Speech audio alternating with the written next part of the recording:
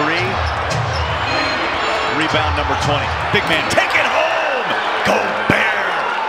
Oh my goodness. And I gotta say, that is another $50 donation from Forest Hill, Utah Food.